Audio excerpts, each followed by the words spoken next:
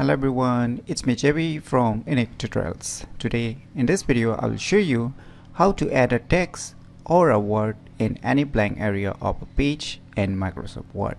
So without further more delay, let's begin. So firstly just open the Microsoft Word software on your respective computer.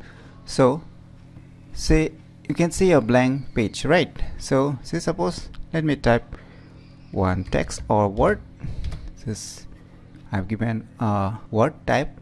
Right.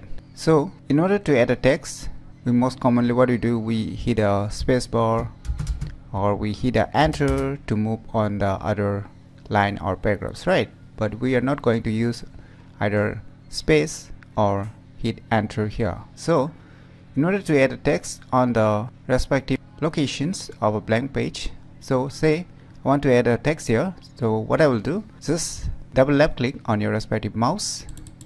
And now you'll see the blinking text cursor appearing here. Now you can add a text here. You can do the same thing. Say I want to add a text or a word here. Just double left click on your mouse and just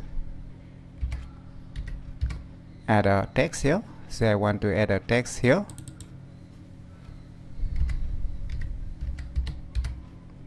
and I want to add a text here.